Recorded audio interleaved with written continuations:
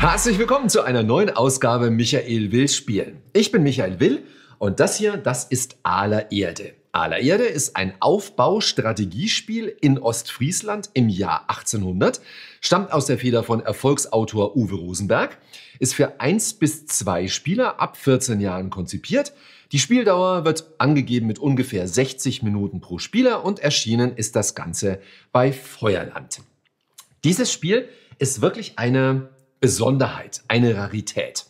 Denn das Thema ist ja natürlich schon sehr speziell, also Ostfriesland um 1800. Hm, aber eine Aufbaustrategie von Uwe Rosenberg, das klingt ja schon wieder sehr spannend. Also da hatte das Spiel mein Interesse schon geweckt. Es hatte auch den Ruf, ein recht komplexes Spiel zu sein und alleine die Tatsache, dass man es nur alleine oder zu zweit spielen kann, da waren wir dann schon komplett mit an Bord. Wir haben es uns geholt, wir haben es gespielt, wir haben es für euch getestet und was wir von diesem Spiel halten, das sage ich euch wie immer im Resümee. Aber zuerst erkläre ich euch die Regeln und dazu wünsche ich euch wie immer viel Spaß. Hey!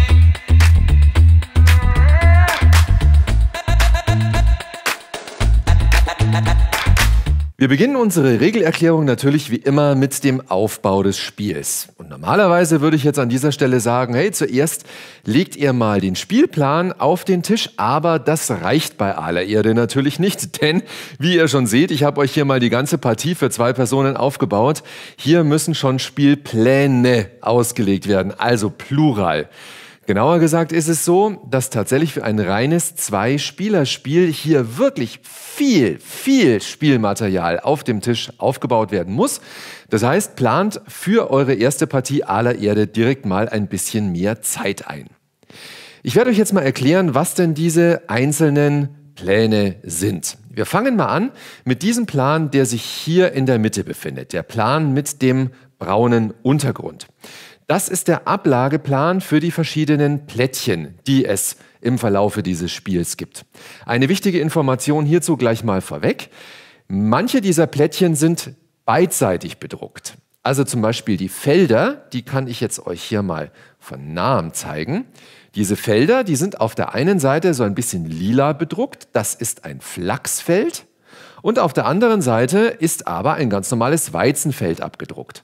Und nachdem es hier wirklich relativ viele Plättchen gibt, die beidseitig bedruckt sind, sind auf diesem Spielplan hier unterhalb der Ablagefläche für die einzelnen Plättchen auch immer Bildchen abgedruckt, wie diese Karte auf der Rückseite aussieht. Also zum Beispiel gibt es hier eine Stallung. Auch dieses Kärtchen kann ich euch mal zeigen. Es gibt hier eine Stallung und in die, diese Stallung ist gedacht für sechs gleiche Tiere. Auf der Rückseite ist ein Doppelstall und der Doppelstall ist eben für zwei mal drei identische Tiere gedacht. Und damit man das eben weiß, Nochmal gibt es hier so ein kleines Bildchen und dieses Bildchen zeigt uns dann eben, auf der Rückseite von der Stallung ist der Doppelstall. Also, wir legen dieses, äh, diese Ablagefläche für die Plättchen aus, suchen uns die passenden Plättchen, legen die auf die entsprechenden Markierungen aus und haben damit hier schon mal unser Tableau mit der ersten Anzahl an Plättchen gefüllt. Was ist das alles? Hier oben links haben wir die Felder, dann haben wir einen Torfkahn, einen Schubkahn, diverse verschiedene andere Karren, die man im Spiel kaufen kann. Es gibt hier einen Stall, eine Stallung, es gibt hier einen Wald, dann gibt es Leder, dann gibt es Leinen und es gibt Baumwolle. Und das sind eben diese ganzen Tokens, die hier ausgelegt werden. Daneben kann man dann auch noch die äh, Plättchen auslegen, die eben für mehr als eine Einheit von dem jeweiligen, von der jeweiligen Ressource gedacht sind. So, als nächstes wird dann der große Spielplan ausgelegt. Das ist dieses riesige Ding, was wir hier vor uns liegen haben. Und das ist eigentlich der Plan, auf dem das zentrale Spiel von Aler Erde stattfindet. Hier ist es so, äh, man legt diesen Plan aus und auf der linken Seite dieses Plans werden erstmal Gebäude ausgelegt. Die Gebäude gibt es in verschiedenen Kategorien und damit ihr auch wisst, wo was hingelegt werden muss, zeige ich euch das hier mal, sind die Gebäude alle auf der Rückseite farbkodiert. Das heißt, es gibt hier grüne, gelbe, blaue, rote und so weiter Gebäude und die Plätze hier auf dem Plan sind natürlich entsprechend mit einer Farbe hinterlegt. Achtung, dabei gibt es bestimmte Plätze, auf die müssen bestimmte Gebäude gelegt werden. Also zum Beispiel hier diese rote Spalte, da gibt es auch exakt nur drei rote Gebäude. Und dann muss ich halt gucken, dass eben die Rückseite von meinem Plättchen mit dem jeweiligen Platz zusammenpasst. Und dann lege ich diese Plättchen umgedreht hier auf den Plan. Bei manchen anderen Farben, zum Beispiel ganz oben bei den grünen Gebäuden, das sind die ersten vier, die hier oben ausliegen, da gibt es eben mehrere. Und immer wenn ich mehr Gebäude als Auslageflächen habe, mische ich einfach meine Plättchen und lege dann beliebig vier dieser Gebäude hier auf diesen Plan. Oder eben hier oder hier oben gilt das Ganze auch nochmal. Bei den grünen Gebäuden, bei denen hier ganz oben, gibt es noch eine kleine Besonderheit. Bei diesen Gebäuden gibt es im Spiel vier hellgrüne und noch ein paar dunkelgrüne. Und laut der Anleitung sollte man das Spiel eben, wenn man das das erste Mal spielt, mit den vier hellgrünen Gebäuden beginnen. Und das sind auch genau die vier Gebäude, die ich euch hier oben ausgelegt habe. Das nächste, was man dann auf den großen Spielplan auslegt, ist dieser Halbjahresmarker. Dieses Spiel wird nämlich immer in Halbjahren gespielt, sodass man eben hier diesen Anzeiger verwendet, um eben immer zu sehen, in welchem Halbjahr man gerade ist. Es gibt immer ein Sommer- und ein Winterhalbjahr und dieser Marker bewegt sich dann eben im Laufe des Spiels immer hier weiter nach unten, bis dann am Ende des neunten Halbjahrs das Ende des Spiels auch erreicht ist. Also dafür dient eben dieser orangefarbige Marker, das ist der Halbjahresmarker. Dann gibt es hier in der Mitte dieses Spielplans eine Menge von Werkzeugen. Das sind zehn insgesamt. Das sind die sogenannten Werkbänke oder Werkzeuge. Hier gibt es zum Beispiel Werkbänke. Es gibt Äxte, es gibt Öfen, es gibt Töpferscheiben und viele andere Werkzeuge. Und die kann man natürlich im Laufe des Spiels auch noch upgraden. Aber zu Beginn des Spiels nimmt man eben immer einen gelben und einen roten Marker türmt die so aufeinander und stellt die auf das Feld, was am weitesten links ist, damit beide Spieler mit der gleichen Menge dieser Werkzeuge beginnen. Was man dann noch macht auf dem Hauptplan, ist, dass man hier diese Arbeitstokens platziert. Jeder von uns hat quasi vier Arbeiter, also vier rote und vier gelbe. Die sind auch oben mit so einem hübschen Motiv beklebt. Und diese Arbeiter werden in die jeweilige, äh, ins jeweilige Halbjahr gestellt. Am Anfang beginnt man eben mit einem Sommerhalbjahr und deswegen stellt man diese vier Arbeiter-Tokens hier ab und jeweils aufeinander. Das bedeutet, derjenige, der der Startspieler ist, der darf seine Marker hier oben auflegen und derjenige, der äh, der Mitspieler ist, eben nicht der Startspieler ist, der legt seine Marker hier unten drunter ab. Und dann hat man auch den großen Spielplan schon fertig vorbereitet. Als nächstes kommt der Heimatplan. Der Heimatplan, das ist der Plan, der man hier direkt, den man hier direkt vor sich auslegt. Das ist quasi das eigene Grundstück. Das ist das eigene Stück Land, was man eben hat in aller Erde. Also genauer gesagt die Erde, die namensgebende, auf der dann auch gespielt wird. Und auch dieser Plan wird vorbereitet, der wird als erstes mal ausgelegt und dann werden auch hier schon diverse Plättchen und diverse Marker ausgelegt. Also, ich fange mal mit diesen Markern hier an der Seite an. Das sind die verschiedenen Rohstoffe, die man im Spiel bekommen kann. Die liegen hier auf dieser Rohstoffleiste. Die geht von 0 bis 15 Einheiten. Das bedeutet auch, dass man von jedem dieser Rohstoffe maximal 15 Einheiten haben darf. Wenn man zum Beispiel irgendwann mal 15 Wolle hat und man verdient noch mehr Wolle, dann verfällt die, denn bei 15 Einheiten in der jeweiligen Ressource ist tatsächlich Schluss. Außer es gibt eine Ressource, die ist hier doppelt vertreten, das ist die blaue, das ist Nahrung. Da kann man eben mit beiden Markern gehen, sprich, man kann mit jeder Ressource maximal 15 Einheiten haben, aber von der Nahrung kann man eben insgesamt 30 Einheiten haben. Was sind das für einzelne Ressourcen? Wie gesagt, blau ist die Nahrung, gelb ist Getreide, braun sind äh, Felle oder Tierhäute, grün, das ist Flachs, äh, weiß ist die Wolle und dann sind wir wieder bei Blau, das ist wieder die Nahrung. Und diese Tokens, die platziert man am Anfang genau so. Ich weiß nicht, ob man das sehen kann, aber hier ist so halb schattiert im Hintergrund auch dargestellt, okay, auf dieses Feld mit der 2 gehört jetzt der Marker mit den Fällen.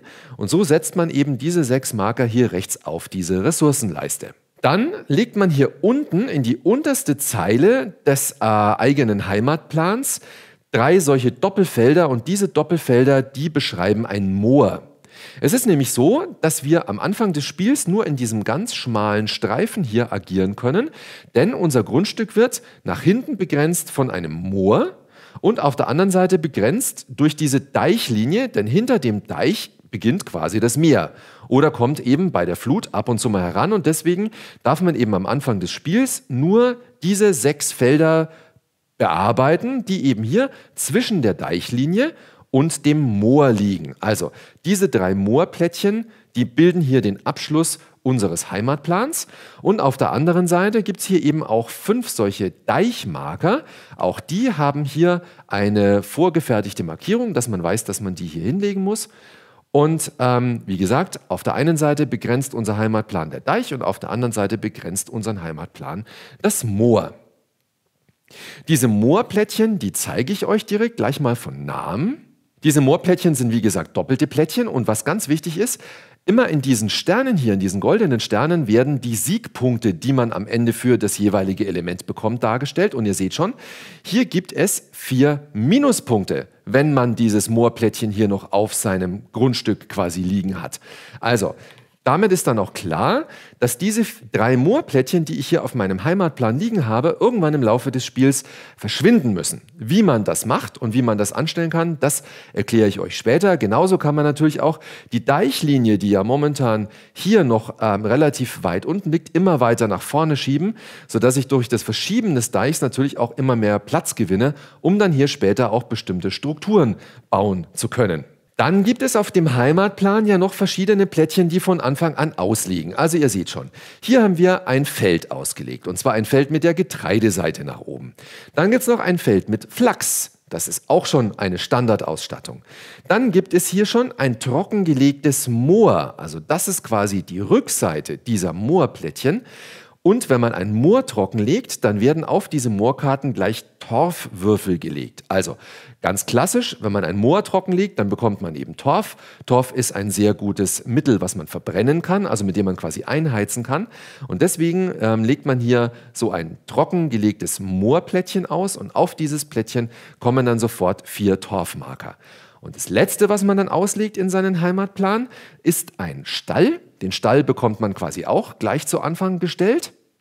Und wenn wir uns diese Stallplättchen mal von nahe anschauen, dann seht ihr hier schon, okay, hier oben gibt es zwei Siegpunkte für diesen Stall und ich darf in diesen Stall drei Tiere derselben Art hineinstellen.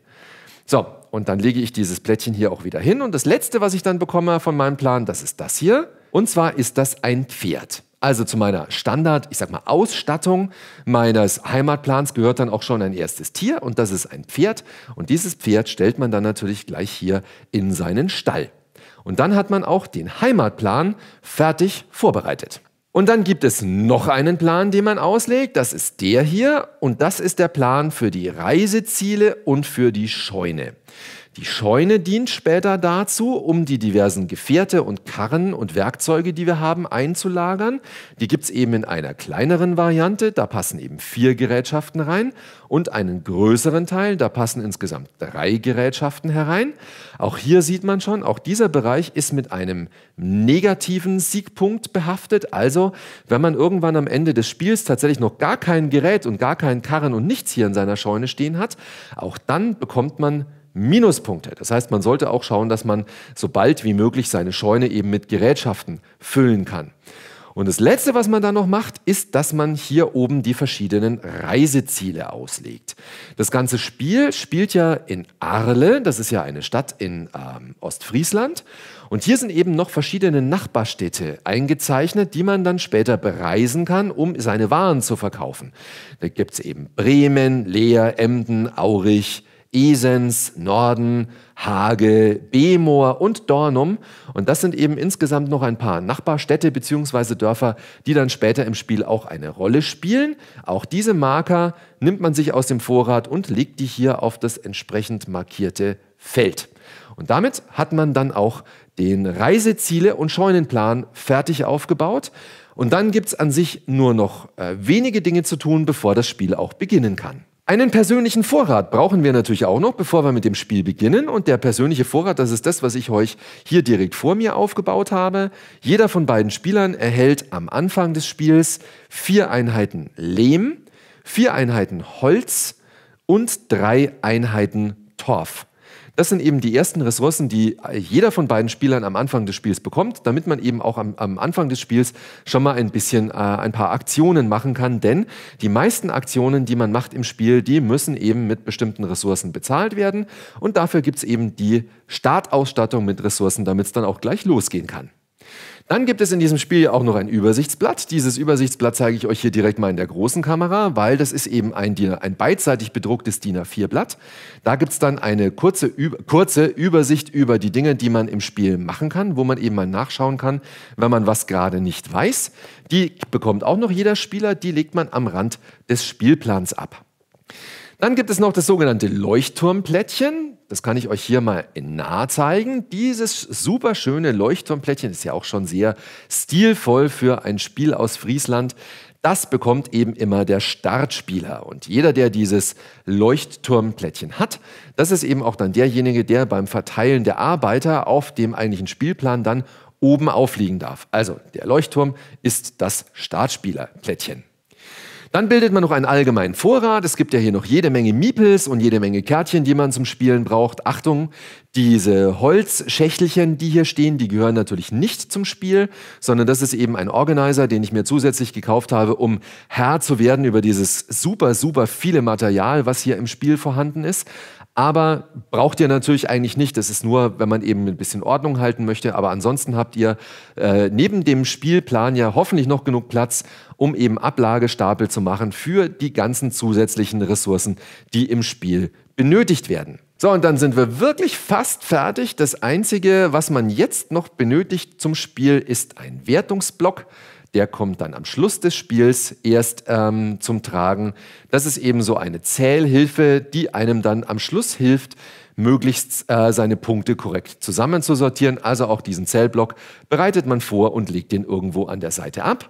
Und dann, tada, haben wir es auch schon geschafft. Dann ist der Spielaufbau für Ala Erde erstmal erledigt und wir können mit dem eigentlichen Spiel beginnen. Ich habe es euch ja vorhin schon gesagt, der Spielablauf von aller Erde funktioniert in Halbjahren. Immer in einem Sommer- und in einem Winterhalbjahr. Und außenrum quasi die Klammer um diese Halbjahre ist die geruhsame Zeit. Das ist quasi der erste Schritt in einer Runde. Und dann kommt die Arbeitszeit.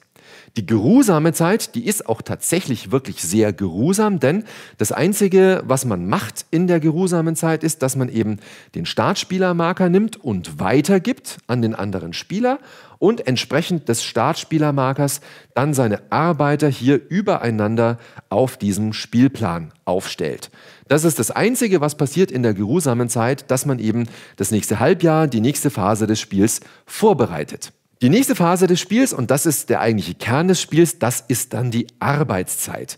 Die Arbeitszeit funktioniert folgendermaßen, da nimmt dann jeder Spieler einen seiner Arbeiter und platziert den auf ein freies Feld im jeweils aktiven Halbjahr. Also, das Spiel beginnt mit einem Sommerhalbjahr. Deswegen, wenn ich jetzt das Spiel beginnen würde, würde ich einen meiner Arbeiter nehmen und würde den auf eines dieser freien runden Felder hier auf der linken Seite des Plans legen, denn wir spielen ja momentan ein Sommerhalbjahr. Sobald ich meinen Arbeiter platziert habe, was ich natürlich nur auf ein freies Feld tun darf, das heißt, wenn schon ein Arbeiter auf einem Feld steht, darf ich mich da nicht dazustellen, sondern dann ist das Feld quasi tabu. Und wenn das passiert ist, dann kommt quasi mein Gegenspieler dran, dann wird ja auch dieser Miepel, der hier unten drunter liegt, sein Spielstein frei und dann darf mein Mitspieler seinen Arbeiter auch auf die Sommerseite des Plans platzieren und die entsprechende Aktion ausführen, die eben auf diesem Aktionsfeld erwähnt wird.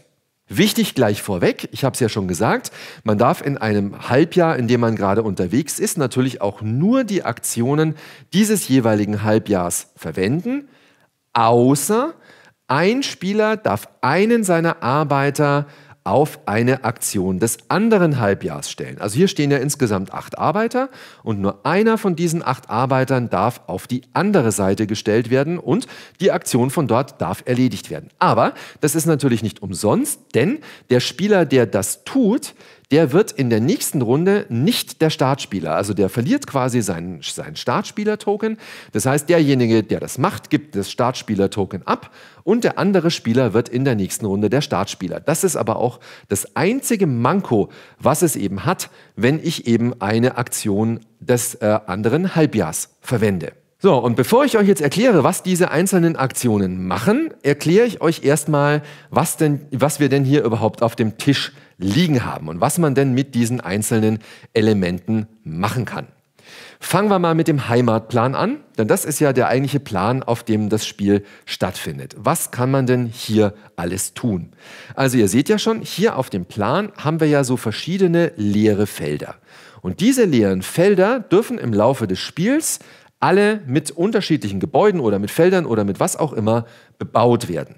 Allerdings, und das habe ich euch ja vorhin schon gesagt, nur im Rahmen meiner Grenzen. Und die Grenzen werden definiert einmal durch diese Deichlinie und einmal durch dieses Moor. Ich habe euch ja vorhin auch schon gesagt, wir müssen natürlich schauen, dass wir im Laufe dieses Spiels diese Moorplättchen hier loswerden. Und wie macht man das? Diese Moorplättchen, ich zeige euch die nochmal genauer, denn die haben eine Besonderheit. Hier oben stehen einmal die Siegpunkte, habe ich euch schon gesagt. Und hier unten, so ein bisschen schattiert, ist so ein Symbol, dass man dieses Plättchen drehen kann. Und dieses Symbol gibt es auf verschiedenen Karten, gibt es zum Beispiel auch hier auf der Stallung und auf den Stellen. Und das sagt mir quasi, dass auf der Rückseite dieser Karte noch etwas anderes zu finden ist. So, und immer wenn ich äh, eine Aktion mache, es gibt nämlich auf dem Spielplan eine Aktion, mit dem ich so eine Karte drehen darf, dann kann ich diese Moorkarte umdrehen und auf der Rückseite befindet sich dann ein, ausgetrocknetes, ein ausgetrocknetes, ein trockengelegtes Moor. Das bedeutet, ich drehe als erstes mal diese Moorkarte um, wenn ich die entsprechende Aktion dazu mache. Und dann seht ihr schon, dann sind hier so quadratische Markierungen. Sobald ich nämlich diese Karte umgedreht habe, muss ich sofort aus dem allgemeinen Vorrat zwei Torf, äh, vier Torfwürfel auf diese Karte legen. Heißt, ich nehme mir jetzt vier dieser Torfwürfel und lege die hier auf diese Moorkarte. Dann habe ich ein trockengelegtes Moor. Das ist quasi schon der erste Schritt, um ähm, diese Moorplättchen loszuwerden. Und ihr seht schon, diese Karte ist auch bloß noch minus einen Siegpunkt wert. Also Moor minus vier, trockengelegtes Moor minus eins. So, und wie bekomme ich jetzt diese Karte ganz weg? Dafür muss ich dann diesen Torf stechen. Es gibt hier auch eine Aktion jeweils, mit der man Torf stechen kann, mit einem Torfstechspaten. Und sobald es mir dann gelungen ist, diese vier Torfeinheiten in meinen privaten Vorrat zu bringen, eben durch die Fähigkeit des Torfstechens, dann wird diese Karte entfernt und übrig bleiben zwei neue Gebiete, in denen ich wieder bauen kann. Also, das ist die Art und Weise, wie ich im späteren Verlauf des Spiels mich dieser Moorkarten erledigen kann. Und ihr seht ja, das sind drei Doppelfelder, sprich, da warten insgesamt noch sechs Felder auf mich, die ich dann später bebauen kann. Auf der anderen Seite habe ich ja diese Deiche. Und es gibt im Spiel auch eine Aktion, mit der ich einen oder mehrere dieser Deichplättchen hier immer von ganz hinten nach vorne schieben kann. Also, ich habe ja hier in der vorderen Reihe zwei Deiche, das heißt, hier fehlt quasi einer. Das heißt, deswegen kann ich diese Reihe hier auch noch nicht verwenden. Wenn ich aber dann später eine Aktion mache, mit der ich diese Deichlinie verschiebe, dann kann ich zum Beispiel einen dieser Deiche hier vorschieben. Dann ist hier eine durchgehende Deichlinie entstanden. Und dann ist diese neue Linie hier quasi ein neues Gebiet, auf dem ich neue Gebäude bauen kann. Und so kann ich eben nach und nach meine Deichlinie immer weiter nach vorne schieben. Denn ihr seht es auch hier oben, auch hier oben auf dem Plan stehen noch Minuspunkte. Und die kann ich nur vermeiden, wenn ich es eben schaffe, meinen Deich bis hier ganz nach oben zu schieben. Denn immer, wenn ich Minuspunkte mit irgendeinem Plättchen verdecke, dann fließen sie nicht mehr in die Endwertung ein. Deswegen müsste es natürlich mein Ziel sein, im Verlaufe dieses Spiels, im Laufe dieser neun Halbjahre, möglichst weit diese Deichgrenze immer weiter nach vorne zu schieben. Jetzt packe ich aber den Deich mal wieder zurück, damit wir dann auch mal sehen, wie das Spiel vom Start weg weiter funktioniert. Dann ist ja eine ganz spannende Komponente dieses Spiels die Tierhaltung. Ihr seht es ja hier schon im Vorrat, es gibt insgesamt drei verschiedene Arten von Tieren. Es gibt hier Kühe, das sind so Holzmiepel, die sogar mit einem Aufkleber beklebt sind, damit sie auch noch so klassisches Fleckvieh werden, was ich mal sehr goldig finde. Also Kühe ist die eine Art von Tier. Dann gibt es als zusätzliches Tier noch das Pferd. Also Pferde gibt es hier auch, das sind diese schwarzen Pferdchen. Und dann gibt es noch, und das ist ganz besonders goldig, das ist quasi ein Schaf. Also es gibt insgesamt im Spiel drei verschiedene Sorten von Tieren, Kühe, Pferde und Schafe. Und die darf ich natürlich auch hier in meinem Heimatplan unterbringen. Wo darf ich aber wie viele Tiere unterbringen? Das ist tatsächlich ganz einfach. Ich darf auf jeden Deich ein Tier stellen. Ich darf auf jedes ungebaute Gebiet, auf das ich natürlich Zugriff habe, also das sind ja momentan nur diese beiden, zwei Tiere stellen. Ich darf in jeden Stall drei Tiere stellen. Und das sieht man schon, wenn man sich dieses, äh, dieses Plättchen hier ans anschaut, denn hier sind ja genau drei Tiere abgebildet. In jede Stallung, das habe ich euch vorhin schon gezeigt, darf ich insgesamt sechs Tiere der gleichen Art stellen. Und auf der Rückseite ist der Doppelstall, da darf ich dann dreimal zwei Tiere der gleichen Art einstellen. Also, soweit zum Thema Tierhaltung. Auf äh, bereits bebaute Gebiete darf ich natürlich keine Tiere stellen. Dann gibt es auf meinem Heimatplan hier noch so eine Seitenleiste. Hier sind auch solche Sterne abgebildet. Das sind also ja offensichtlich Siegpunkte. Und auf diese Leiste komme ich aber später nochmal zu sprechen, denn auf dieser Leiste hier wird meine Reisestrecke später angezeichnet. Was hier aber abgelegt wird und wie ich an diese Tokens komme, die hier abgelegt werden, das erkläre ich euch später, wenn ich euch dann generell erkläre, wie das mit den Reisezielen funktioniert. Und damit wird es allerhöchste Zeit, dass wir uns um den großen Spielplan kümmern. Hier gibt es wirklich ganz, ganz viel zu tun. Ich habe euch ja schon erklärt, linke Seite sind die Sommeraktionen, rechte Seite sind die Winteraktionen. Das ist schon mal das Wichtigste. Wichtig noch vorab, ähm, es gibt auf vielen dieser Karten solche weiß hinterlegten Felder mit so einem Friesenmuster oben und unten. Und alles, was mit diesen Mustern versehen ist, das sind Kosten. Also das sind Dinge, die ich bezahlen muss, um sie eben durchzuführen. Und das erkläre ich euch deswegen, denn die erste Aktion, die ich euch jetzt mal zeigen möchte, mit die wichtigste Aktion, die es hier überhaupt gibt auf diesem Plan, ist der Meister. Der Meister, das ist eine Aktion, die ich sowohl im Sommer als auch im Winter durchführen kann. Und wenn ich mich hier hinstelle, dann darf ich meine oder eine gewisse Anzahl meiner Marker hier auf der jeweiligen Werkbank weiter nach rechts bewegen. Bedeutet, ich bekomme zum Beispiel mehr Äxte oder ich bekomme mehr Öfen oder ich bekomme mehr Stechspaten, um eben später Torf abzubauen.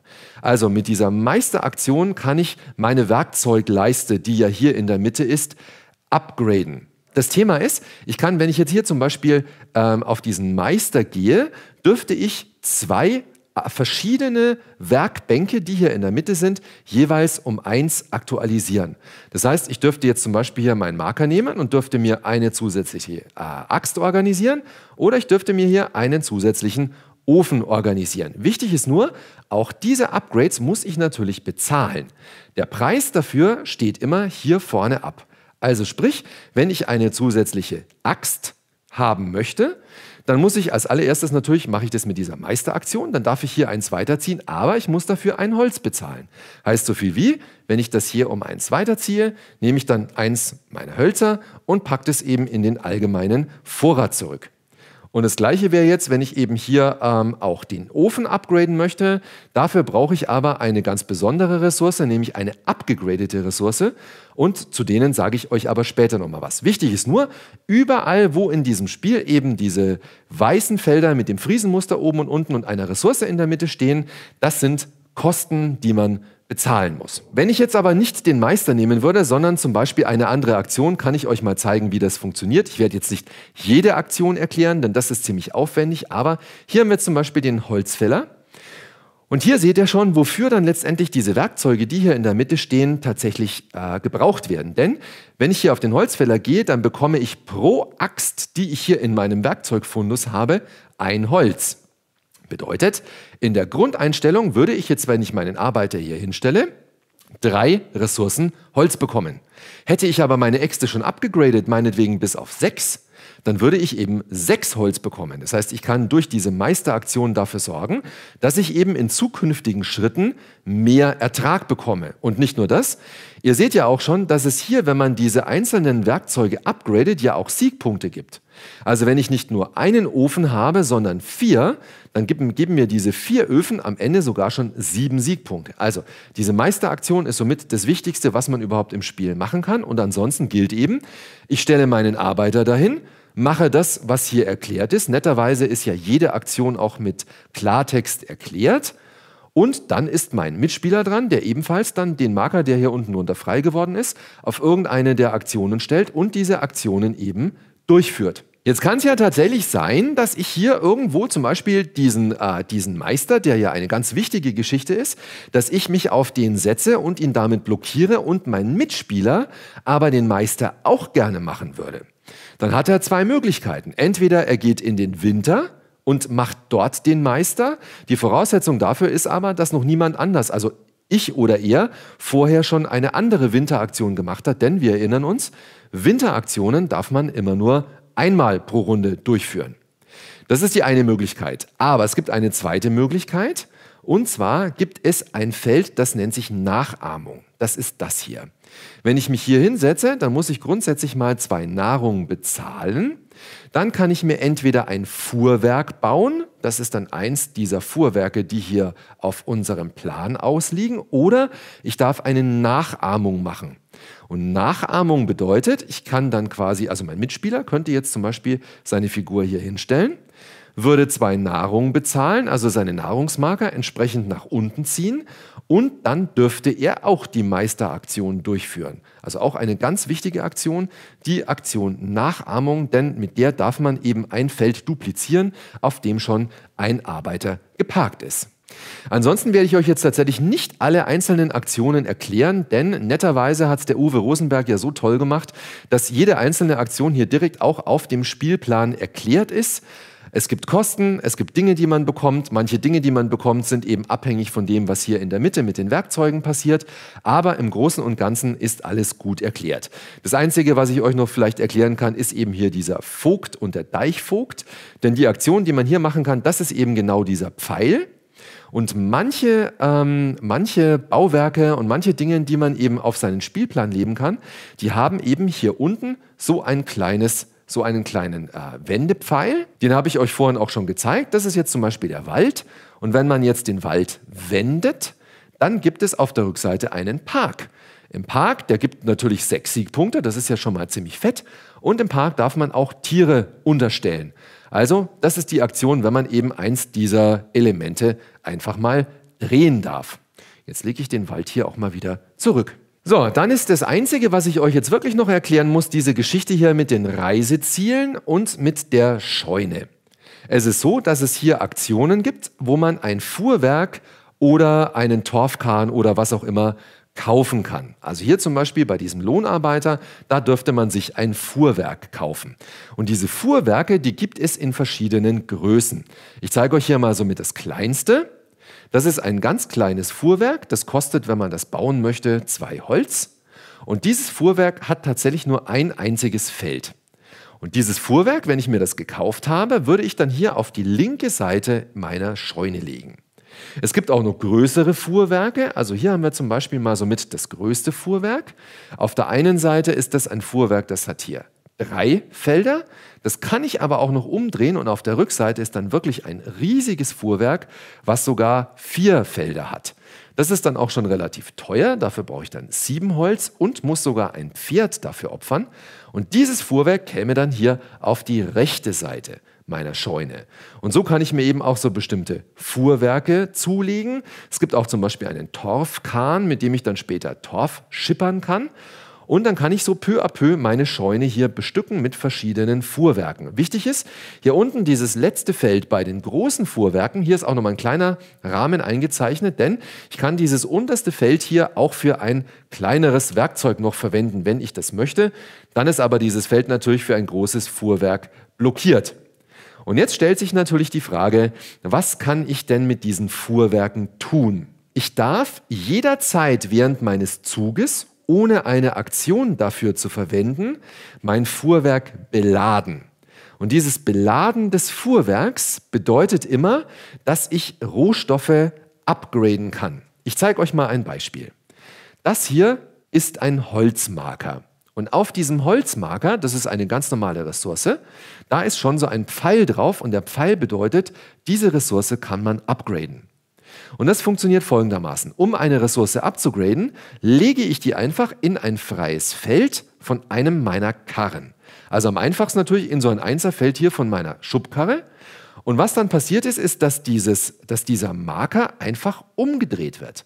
Denn auf der Rückseite ist aus dem Holz nämlich ein Brett geworden, also ein bearbeitetes Holz. Und dieses Brett ist sogar schon einen halben Siegpunkt wert. Und ich mache folgendes, wenn ich jetzt dieses Holz hier upgraden möchte, lege ich dieses Holz auf einen meiner Karren und zwar schon umgedreht, sodass ich dann später weiß, hier ist ein abgegradeter Rohstoff drauf. Und dann kann ich am Ende der Runde, da kommen wir dann später nochmal drauf zu sprechen, dieses Holz einfach wieder in meinen Vorrat nehmen. Also sprich, diese Karren dienen erstmal dazu, dass ich meine Rohstoffe upgraden kann. Das funktioniert mit Holz, das funktioniert aber auch mit dem Lehm, den ich habe. Beim Lehm funktioniert es noch ein bisschen anders, denn aus dem Lehm kann ich einen Ziegel machen. Das Problem ist aber, wenn ich aus Lehm einen Ziegel machen möchte, muss ich den ja brennen. Heißt, ich brauche Feuermaterial, also Material, was brennbar ist. Und das ist hier oben auch abgebildet. Das bedeutet, wenn ich aus einem Lehm einen Ziegel machen möchte, muss ich dafür einen Torfwürfel ausgeben. Also, angenommen, ich würde jetzt gerne aus diesem Lehm einen Ziegel machen, dann würde ich den wieder hier auf meinen Wagen legen, würde den schon umdrehen, müsste aber dafür aus meinem Vorrat einen Torfwürfel in die allgemeine Ablage zurücklegen. Und jetzt seht ihr schon, was auch der Vorteil ist gegenüber diesen größeren Wägen, denn ich kann natürlich in die größeren Wägen nicht nur eine Einheit von meinem Material reinlegen, sondern in den großen Wagen halt tatsächlich auch bis zu vier Einheiten. Bedeutet, mit diesem großen Wagen kann ich innerhalb von einer Runde, wenn ich dran bin, vier Holz in Bretter umwandeln, vier äh, Ziegel in Lehm umwandeln und auch eine beliebige Mischung aus allem. Ja? Also drei Holz und ein Lehm zum Beispiel. Ich muss einfach nur diesen, oder ich kann, wenn ich möchte, diesen Wagen voll machen und dann werden maximal vier dieser Einheiten bis zum Ende der Runde abgegradet. Das Schöne ist, das ist ja nicht das Einzige, was abgegradet werden kann, denn ich zeige euch das mal am Beispiel von einem Leder. Ich kann natürlich aus meinen Tierhäuten auch Leder fertigen lassen. Und auch dieses Leder darf ich dann auf meinen Wagen legen. Und wenn ich dieses Leder upgrade, dann wird aus diesem Leder nämlich Lederkleidung, die hier auf der Rückseite abgebildet ist. Und das Schöne an der ganzen Sache ist, ihr seht ja, dieser Wagen ist hier so in verschiedene Segmente geteilt. Ich darf diese Segmente immer zusammenfassen also ich darf in zwei einzelne Segmente ein Zweierelement legen, aber ich darf in ein Zweierelement keine Einzelsegmente legen. Ich zeige euch mal, was ich meine. Hier haben wir zum Beispiel diese Kutsche und diese Kutsche hat eben ein Zweierfeld und ein Einserfeld. Ich darf hier hinten einen Rohstoff reinlegen, also zum Beispiel ein Holz oder einen Lehm. Hier vorne darf ich aber nicht zwei Lehm reinlegen, hier dürfte ich nur eine Karte reinlegen, die eben zwei Einheiten groß ist. Und da muss man eben ein bisschen aufpassen, weil man kann eben nicht mit jedem Karren alles auch transportieren. So, bei der Gelegenheit kann ich euch natürlich gleich mal erklären, wie der, der Upgrade funktioniert. Also ich habe euch ja gesagt, es gibt ja Felder, die haben hier Flachs angebaut. Aus Flachs kann ich Leinenstoff generieren lassen. Und diesen Leinenstoff kann ich dann weiterverarbeiten zu Sommerkleidung. Was ich euch auch schon gezeigt habe, ist, ich kann ja aus Tierhäuten Leder machen lassen in der Gerberei. Und ich kann aus diesem Leder dann natürlich Lederkleidung herstellen lassen. Und ich kann natürlich aus Wolle Wollstoff produzieren lassen und aus dem Wollstoff dann letztendlich Winterkleidung machen lassen. Und das funktioniert eben genauso, wie man seine normalen Ressourcen upgraden kann. Man legt einfach den Rohstoff auf den jeweiligen Karren und am Ende der Runde hat man dann einen abgegradeten Rohstoff zur Verfügung. Und damit sind wir dann jetzt auch bei den Reisezielen. Ich zeige euch mal hier so ein Reiseziel. Ich nehme jetzt zum Beispiel mal Emden. Emden ist ein Reiseziel. Und wie ihr ja hier schon sehen könnt, kann ich an diesem Reiseziel beliebige Dinge verkaufen, also diverse Dinge verkaufen. Und zwar tauscht mir das Reiseziel immer Ressourcen, die ich habe, in Nahrungseinheiten um. Also hier könnte ich zum Beispiel einen Torfwürfel in drei Nahrung umtauschen. Oder eine Sommerkleidung in sechs Nahrung, eine Lederkleidung in sieben Nahrung und eine Winterkleidung ebenfalls in sieben Nahrung. Was muss ich dafür tun? Das Einzige, was ich tun muss, ist, dass ich eben diesen Reisemarker auf ein passendes freies Feld meines Karrens lege und ich muss mindestens eine der Transaktionen, die hier abgebildet sind, auch tatsächlich durchführen können. Also, wenn ich keine der Ressourcen habe, die hier abgebildet sind, kann ich auch oder muss ich auch mit dem Karren nicht nach Emden fahren. Aber ich darf tatsächlich alle vier Transaktionen durchführen, aber eben jeweils nur einmal. Das bedeutet nicht, dass ich hier halt drei Winterklamotten gegen 21 Nahrung eintauschen kann, sondern eben eine Winterklamotte gegen sieben Nahrung. Und das ist immer am Ende der Runde. Das heißt, ich nehme dann einmal eins dieser Reiseziele, lege das hier auf meinen Karren und am Ende der Runde wird das dann ausgewertet. So, und damit sind wir auch mit den Reisezielen durch. Wie die dann ausgewertet werden, sage ich euch gleich im Anschluss. Was darf man jetzt noch jederzeit während seiner Arbeitszeit machen? Man darf jederzeit seine Fuhrwerke beladen, das darf man immer machen, wenn man an der Reihe ist. Dann, wenn man einen Torfkahn hat, darf man jederzeit Torf in Rohstoffe wechseln. Das darf man auch jederzeit machen. Man darf jederzeit seine Tiere in, äh, auf seinem Heimatplan umsetzen. Das ist auch was, was man, was keine Aktion braucht. Und es gibt dann später auch nochmal so Gebäudetypen, die haben so Uhrensymbole abgebildet.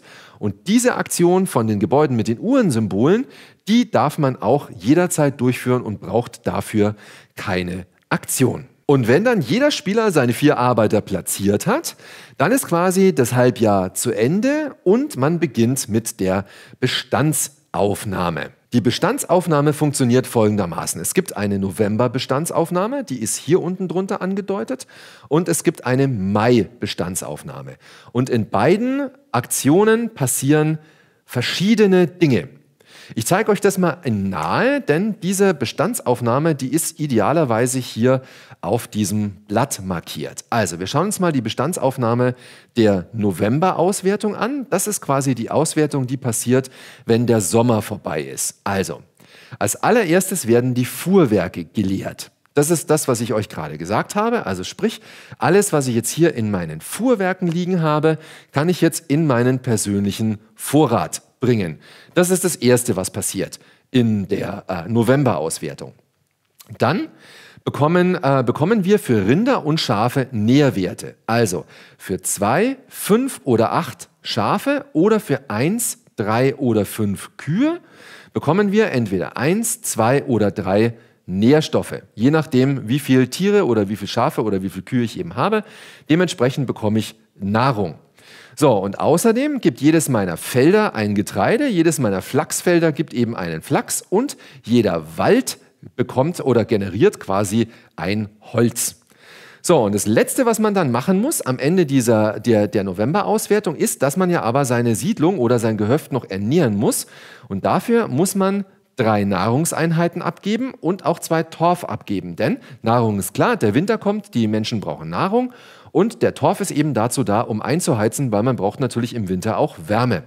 So, und wenn man eben keine Nahrung mehr hat, dann kann man dafür entweder noch Getreide ausgeben oder dann auch ein Tier opfern, ein beliebiges Tier. Und wenn man keinen Torf mehr hat, dann muss man das eben mit äh, Holz bezahlen. Und wenn man nichts von beiden hat, dann bekommt man tatsächlich einen Eintrag in seiner Wertungsliste. Da wird einem dann später ein Engpass markiert und man bekommt am Ende bei der Abrechnung Minuspunkte. Das war quasi jetzt die Auswertung am Ende des Novembers, also am Ende des Sommers. Es gibt aber natürlich auch noch eine Auswertung am Ende des Winters, das ist die Mai-Auswertung. Und da wird es dann total goldig, denn auch hier werden wieder die Fuhrwerke geleert. Aber dann ist es so, immer wenn man zwei Tiere der gleichen Gattung in Ställen oder in Stallungen stehen hat und da ist noch ein Platz, dann bekommen die Tiere nämlich im Winter Nachwuchs.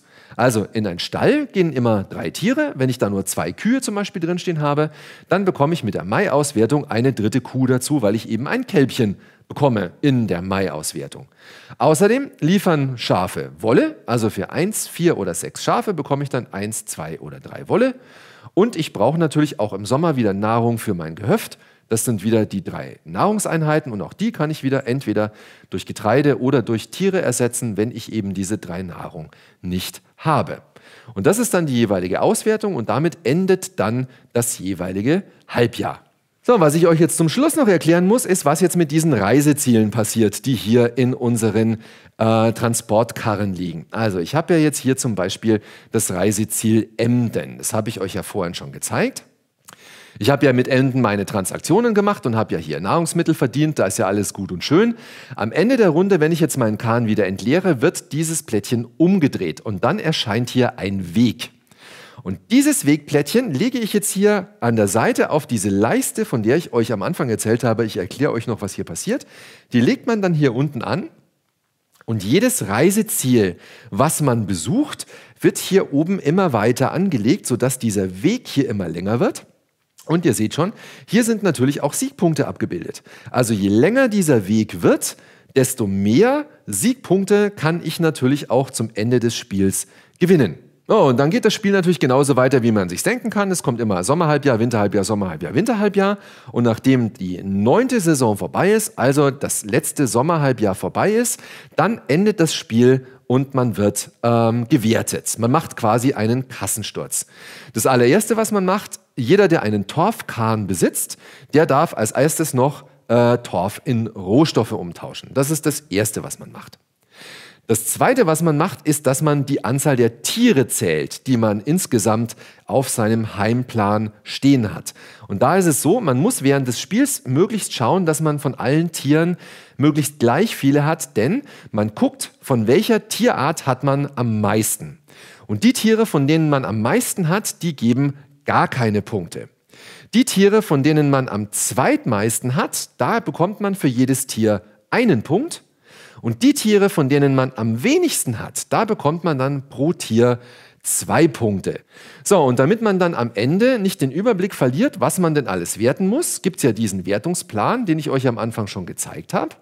Man zählt jetzt, wie viele Punkte hat man von Kleidungsmarken und Baustoffen. Da zählt man dann eben seine Ressourcen. Wie viele Punkte geben die Gerätschaften in meiner Scheune? Also zum Beispiel hier meine, die zwei Punkte für den Karren, den ich habe. Dann wie viele Punkte bekomme ich aufgrund meiner Reiseerfahrung?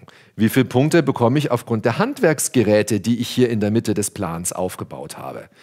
Wie viele Punkte bekomme ich auf meiner Warenleiste? Denn auch auf meiner Warenleiste ist es ja so, dass die oberen Felder hier mit Siegpunkten versehen sind und auch entsprechend Siegpunkte geben. Dann gucke ich, wie viele Punkte habe ich auf meinem Heimatplan? Also dann werden alle äh, Punkte gezählt, die hier auf meinem Heimatplan dabei sind. Dann werden die Tiere gezählt. Wie man die Tiere zählt, habe ich euch schon gesagt. Und der letzte Punkt auf dem Wertungszettel, das sind dann die Engpässe. Bei den Engpässen ist es so, jedes Mal, wenn ich mein Dorf ernähren muss, und habe keine Ressourcen dazu. Oder jedes Mal, wenn ich im Winter Torf ausgeben muss, um mein, mein Dorf oder mein, mein Gehöft zu heizen und habe keinen Rohstoff dazu oder habe keinen Torf dazu, dann muss ich mir pro Rohstoff, den ich nicht habe, hier minus zwei Punkte notieren. Und das ist dann eben das, was hier unten bei den Engpässen eingetragen wird. Und letztendlich werden dann die Punkte aufsummiert. Und derjenige, der die meisten Punkte in diesem Spiel hat, das ist der Gewinner von aller Erde. Aller Erde ist wirklich ein ganz spezielles Spiel. Dass diese Thematik, die Aufbaustrategie, die dahinter steckt, das ist natürlich ein klassischer Uwe Rosenberg. Was ich sehr cool finde, ist, dass ja Arle der Geburtsort von Uwe Rosenbergs Vater ist. Also er hat eine persönliche Beziehung zu diesem Ort und alleine, dass er die Idee hatte und mal rund um diesen Ort im 18. Jahrhundert ein Spiel gestrickt hat, finde ich richtig toll. In dieser Schachtel liegt auch noch ein, ich glaube, 30-seitiges Büchlein, wo er auch erzählt, wo auch Fakten erzählt werden rund um Aale und rund über diese Region im 18. Jahrhundert. Also man merkt diesem Spiel in jedem Buchstaben an, wie viel Herzblut in dieses Spiel reingeflossen ist. Das finde ich richtig, richtig toll. Ich schicke aber auch voraus, unser Kanal ist ja eigentlich mehr gemacht für Gelegenheitsspieler. Gelegenheitsspieler, die ab und zu ein bisschen Zeit haben, um ein Spiel zu spielen. Und ich glaube, für euch ist dieses Spiel schon ein bisschen over the top. Also die Regeln sind nicht einfach. Es ist ein wirklich komplexes Kennerspiel. Und deswegen bin ich mir auch nicht sicher, dass wir unseren Gelegenheitsspielern dieses Spiel bedingungslos empfehlen können. Aber wenn ihr mehr als Gelegenheitsspieler seid und euch auch mal in ein komplexeres Strategiespiel einfuchsen wollt, wenn euch das gefällt, dass jemand ein Thema für ein Spiel so tief in der Historie verankert hat Und wenn ihr generell Fans von Uwe Rosenberg seid, dann können wir euch dieses Spiel unbedingt ans Herz legen. Dann bekommt ihr hier eins der besten Zwei-Personen-Strategiespiele, die es momentan für Geld zu kaufen gibt. Und damit vielen herzlichen Dank, dass ihr auch dieses Mal wieder mit dabei wart. Wenn ihr neu dabei seid, herzlich willkommen. Vergesst nicht, unseren Kanal zu abonnieren und die Glocke zu klicken, damit ihr aktiv informiert werdet, wenn es von uns was Neues gibt. Und bis zum nächsten Mal wünschen wir euch wie immer ein schönes Spiel.